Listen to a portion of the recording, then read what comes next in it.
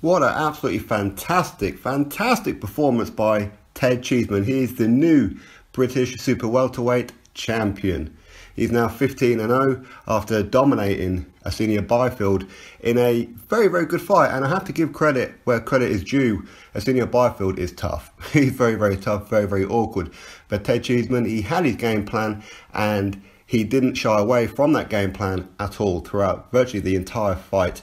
Um, Byfield, I think that he wanted to trade and Cheeseman was like, no, no, no, and was just going forward like a machine. So Team Sporting Icons, yep, we are sponsoring Ted Cheeseman. We are the main sponsors of Ted Cheeseman, as you can see there on the shirts, and of course on his fight night trunks as well. And by the way, big up to Scott for sorting all that out, my Sporting Icons general manager there. So big up to him on that one. So this was a very, very good performance by Ted Cheeseman, and he showed that he is what he said he is, which is above British level. And he is above British level, and you can see that with the way that he just controlled the entire fight. Um, high guard, come forward, elbows in, so body shots and headshots would either hit their arms, the elbows, or the gloves. And whenever he got close, unloaded on the body of Byfield, which is what you needed to do. In my post-fight, um, or sorry, my pre-fight um, prediction and review, that's what I thought that uh, Ted Cheeseman had to do was take away the body because Byfield is awkward. He just changes from southpaw to orthodox and just moves around constantly. He needed to slow him down a bit and hurt Byfield, and that's exactly what he done.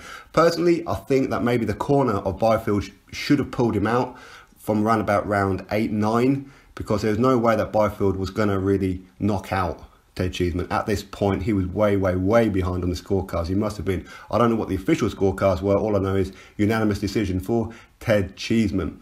And of course, he did drop um, Asinia Byfield. For the first time in Byfield's career as a pro and an amateur, he hit the canvas. And that shows how hard Ted Cheeseman hits as well. Now, Byfield moves around a lot, so it's very, very difficult to hit clean.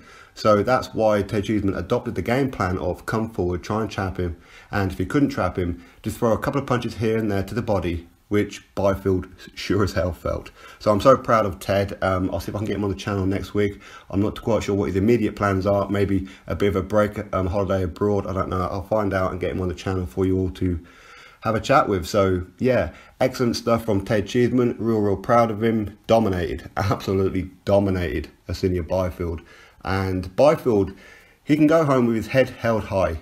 I mean, a lot of people would have just taken a knee or quit on their stool after that kind of punishment, but he just kept on in there. He was hanging on in there. But Ted was just confident and he knew, um, especially towards the end of the fight there, around 11 and 12, that there's no way that Byfield can hurt him. He can shake him for sure and uh, push him back, which is um, what he did, especially with like um, a few seconds to go of round 11 where he had Cheeseman on the back foot, uh, and, and, I wasn't too sure if he hurt Cheeseman or not, but by looks of it, no, because Ted went back to the corner smiling, and of course he was smiling all the way through round number 12 and was encouraging Byfield to trade with him, but uh, Byfield chose the right decision not to do that because I think Ted would have got him out of there um, had he have done that. So congratulations to Ted Cheeseman.